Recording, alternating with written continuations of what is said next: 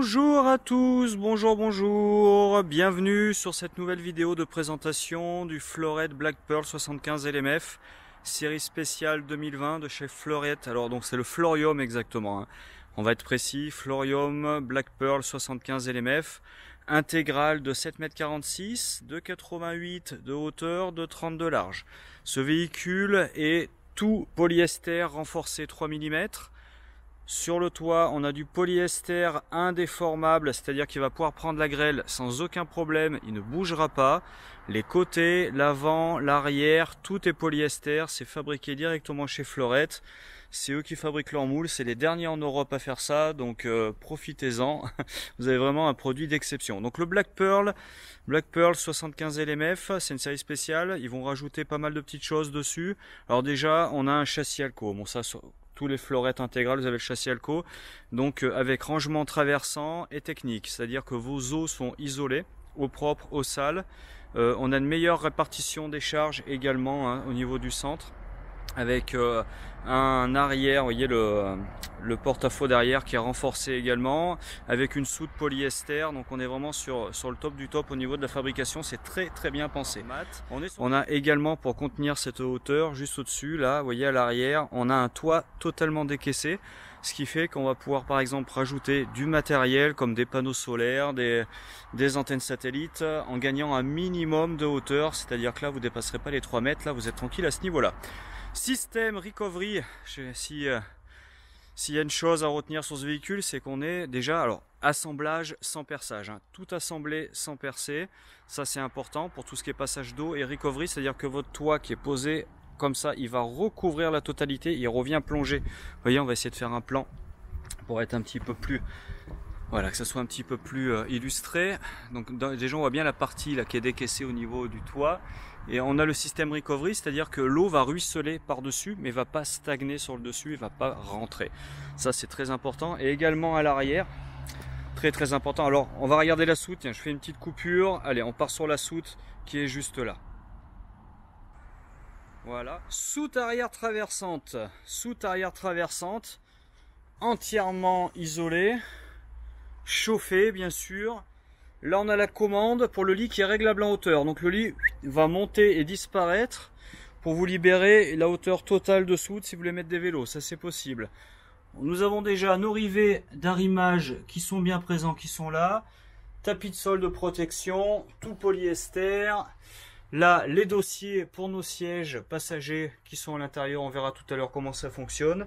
Et également, nouveauté, vous voyez, alors, ce qui dit série spéciale dit petite chose en plus. Douche été. Et là, vidange des eaux sales directement avec un bouton à l'intérieur de la soute. Donc c'est vous dire, vous voyez la, sortie du chauffage qui est juste là, c'est vous dire la qualité de finition de cette petite merveille. Voilà, donc euh, taille de soute, je vous mets la taille de soute qui doit être de 114 il me semble par 79, on vérifie, je vous le mets en incrustation, comme ça vous l'avez juste là.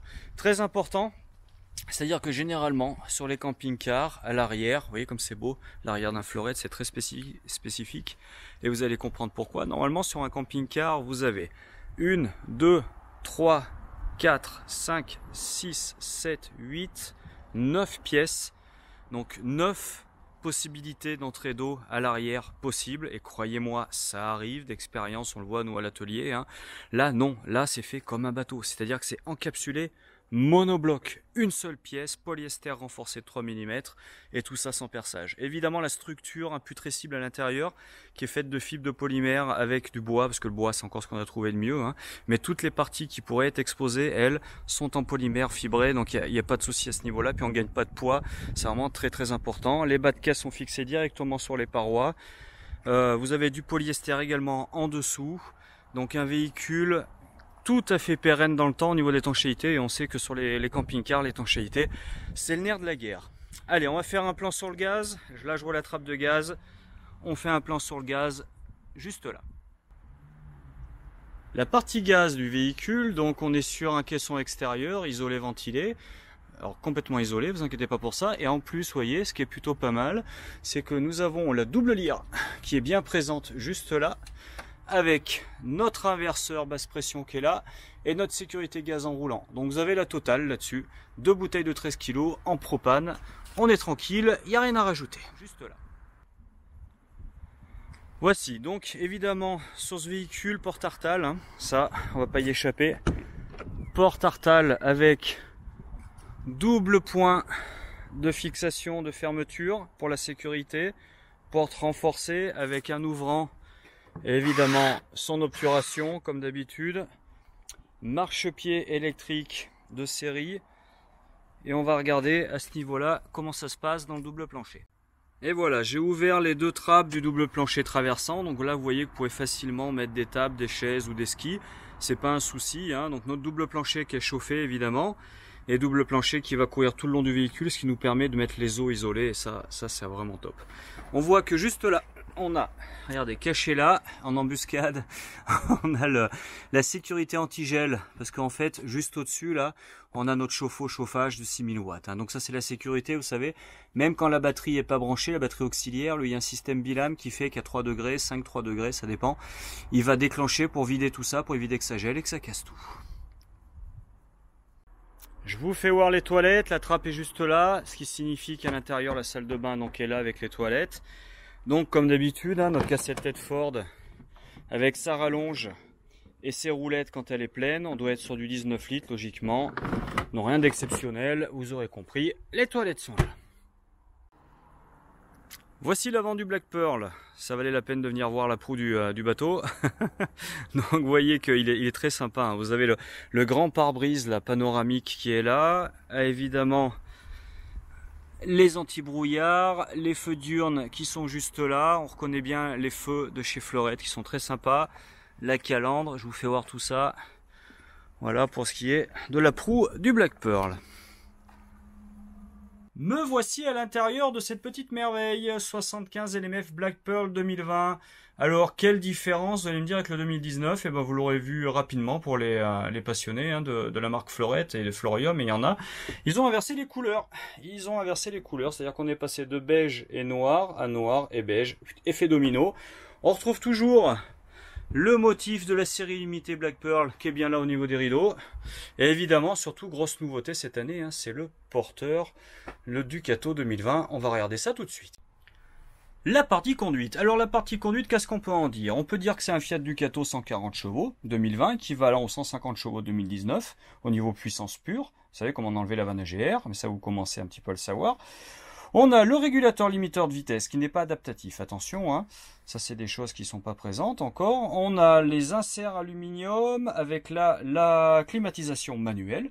Autoradio Kenwood CD Bluetooth auxiliaire carte mémoire USB avec je vous fais voir un plan là. Haut-parleur focal. Donc on est sur le top du top au niveau qualité. On a une isolation totale de la partie avant, c'est-à-dire que c'est un véhicule qui vibre peu, qui fait peu de bruit. C'est un des rares véhicules où on va parfaitement entendre la radio en roulant. Ça, ça compte un petit peu à mon avis, un tout petit peu. Vous avez la caméra de recul vision haute au niveau du, euh, rétroviseur avec les zones de, de contact, d'alerte de danger qui sont présentes bien sûr. Boîte 6 manuel, 6 rapports. Vous avez la possibilité d'avoir la boîte automatique pour le prix que je vais vous afficher juste ici. Voilà. Double airbag évidemment pour le passager et pour le conducteur. On a comme d'habitude notre boîte à gants réfrigérée qui communique avec la climatisation et les stores plissés sur les côtés et devant. Regardez, on va le descendre. Voilà ici, comme ça vous pouvez avoir de l'intimité ou protéger du soleil, enfin tout est là pour être très très bien. Les sièges, sièges évasés, renforcés, réglables en hauteur, en inclinaison avec accoudoir, vous voyez en plus avec le nouveau décor Black Pearl, ils sont absolument magnifiques, absolument magnifiques. Des ampoules LED, des spots LED, pardon, qui sont présents là. Je sais pas si j'ai du jus. Non, j'ai pas de jus malheureusement. Et au milieu, on n'a pas le porte-gobelet. Ils ont fait le choix de mettre la, le vide-poche avec, euh, avec serrure pour fermer pour sécuriser les affaires. Et là, ça, c'est juste pour les clients qui nous ont fait euh, confiance et qui sont partis sur ce modèle-là. Je sais qu'au début, vous allez chercher, donc je vais vous dire où c'est. pour baisser les sièges, vous savez, quand on veut baisser complètement pour pouvoir descendre le lit au plus bas, c'est juste ici, dans le coin. Là, il y a un bouton. Il se voit pas. On a l'impression que c'est euh, le carénage du siège, mais non. Vous tirez, et là, il va se baisser tout seul, tout simplement.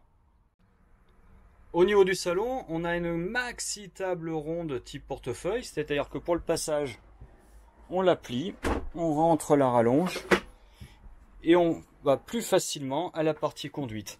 Cette table ne se baisse pas, elle est fixe. Hein. On pourrait pas faire un, lit supplémentaire, mais aucun intérêt, parce qu'on a le lit qui est juste là, je vais vous le mettre en place, vous allez voir à quoi ça ressemble.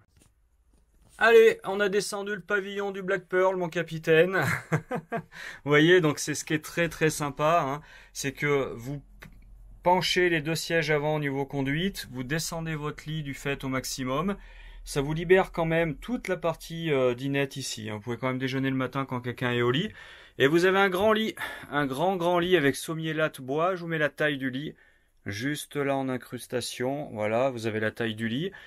Vous avez évidemment fermeture toilée sur toute cette partie avant. Un vide-poche pour mettre ses affaires, des spots de chaque côté, une ouverture 40-40 avec la possibilité de mettre une moustiquaire ou une obturation. On regarde en dessous comment ça se passe. On est bien sur un sommier latte. On a bien les filets de sécurité également qui sont présents pour pas basculer en avant. On est totalement sécurisé dans ce magnifique pavillon Black Pearl. Voici, je vous ai mis le, siège, enfin un des deux sièges passagers en place pour que vous ayez une idée de, la finalité de, ce siège. Donc pour la partie avant, vous voyez là, il y avait également une assise qui était juste là. Cette partie articulée, elle vient se mettre. Euh, regardez, je vous fais voir. Hop. Donc c'est tout bête. Hein. Voilà, vous la mettez comme ça, comme ça, on peut passer les pieds sans problème. Donc ça se monte à peu près, allez, en, en 10 secondes. J'en ai profité du fait pour vous faire voir ce qu'il y avait juste sous l'assise du siège à l'entrée à droite. Donc évidemment tout ça se lève hein, très facilement. Là on a une trappe qui vient se mettre là normalement, hein, mais vous avez un accès directement, vous voyez, à la batterie cellule qui est dans le double plancher. Et voilà, j'ai fait le deuxième siège passager. Donc tout à l'heure j'ai oublié de remettre le coussin, là c'est quand même plus sympathique. Hein. Voilà, le deuxième siège passager, évidemment la ceinture de sécurité est bien présente, j'ai laissé derrière. Je l'ai pas sorti, mais elle est bien là. Donc de la même manière, on a cette partie qui vient se lever là pour passer les jambes.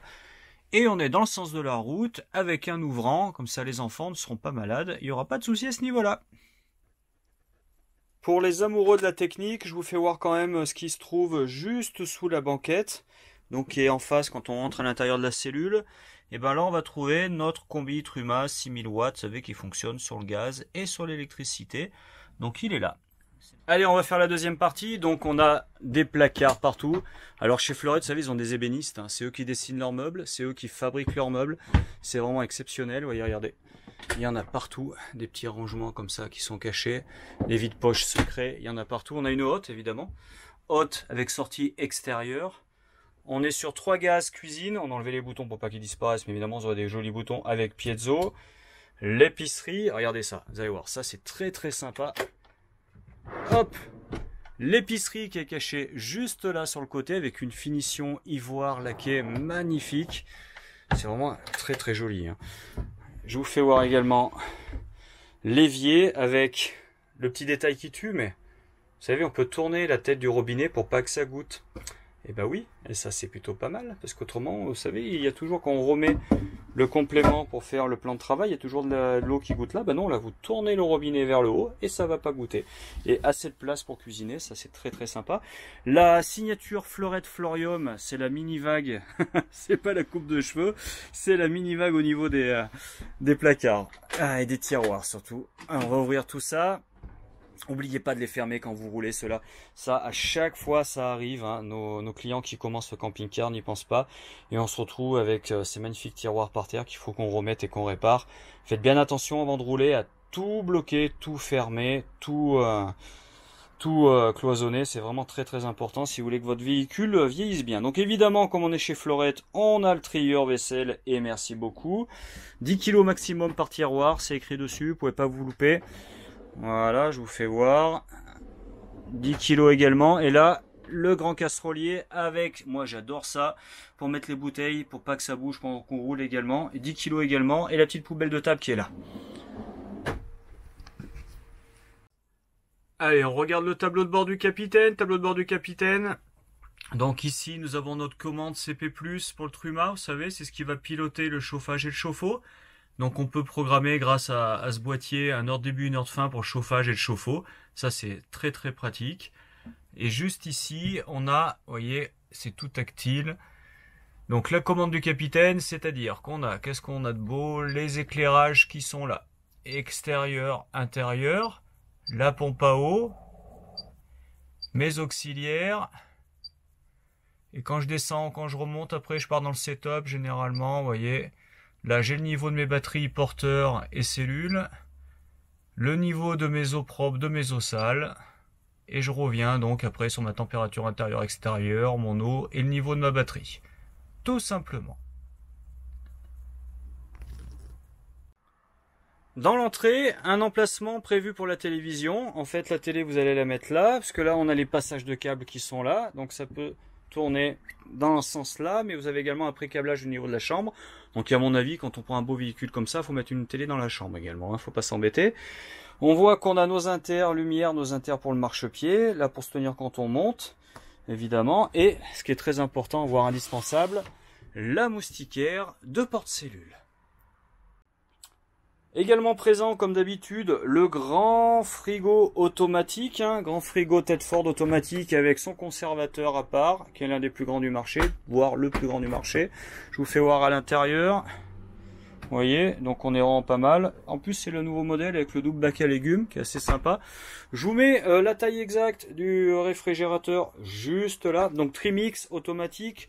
Vous vous souvenez, hein, Trimix automatique, il va fonctionner sur le gaz, il va fonctionner sur le 220, il va fonctionner également sur la, batterie du porteur quand on roule pour conserver le froid qui a été déjà créé sur le gaz ou sur le 220. Juste au-dessus, ça c'est magnifique. L'an dernier, ils étaient noirs, ça ressemble à des fours. Cette année, ils sont blancs on voit plus ce que c'est. Donc push, ça veut, ça veut dire hop, j'appuie. Et là j'ai des vérins partout. Donc un grand rangement là. Et normalement un grand rangement là avec mes prises électriques après pour tout le matériel télé. Hein. si je veux mettre mon démodulateur, et, etc. Ça va tout être là. Mon pointeur d'antenne automatique, enfin tout va être là. Allez, le noyau dur de ce joli fruit, le lit. Donc on est sur un, super matelas haute résilience. Hein. On est vraiment sur le top du top. Là, vous serez aussi bien, voire mieux que chez vous. Vous inquiétez pas pour ça. Je vous mets la taille du lit juste là. Voilà. Avec évidemment le kit d'oreiller. Là, je l'ai pas mis, hein, mais il y a un plaid également qui n'est pas sans rappeler notre cher ami euh, Louis V. donc je tairai le nom. Vous voyez, donc euh, ambiance lumineuse derrière la tête de lit. Est-ce que vous avez vu ça, C'est super joli. Hein. vous avez la tête de lit cuir comme ça, avec l'ambiance lumineuse qui est juste derrière, plus les spots et comme on disait tout à l'heure, le diable dans les détails, mais le port USB directement sur le pied du spot pour pouvoir recharger son téléphone qu'on va mettre dans la petite poche sur le côté. C'est tout bête, mais enfin bon, c'est vraiment, on voit que ces gens se servent de leur véhicule. Hein. Donc là, j'ouvre, j'ai deux rangements comme ça des grandes penderies de chaque côté. Alors il y en a une qui est plus grande que l'autre à chaque fois. Est-ce que c'est le cas chez eux? Également Non, c'est les mêmes. Chacun a la même penderie. Donc monsieur peut être aussi coquet que madame.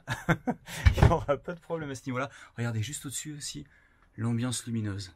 Ça valait vraiment la peine d'allumer ce véhicule. C'est dommage de ne pas voir ça. Donc évidemment, il y a. Alors souvent on me demande qu'est-ce que c'est que ça ça, c'est qu'en fait, votre véhicule a un lit réglable en hauteur qui va monter. Et ça, c'est en fait un rideau qui s'enroule pour pas qu'il vide tout le temps, qui va le suivre.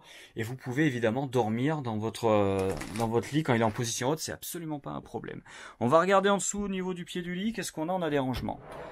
Ah, moi j'aime bien ça. C'est-à-dire que c'est les grands tiroirs. Ça, c'est chouette.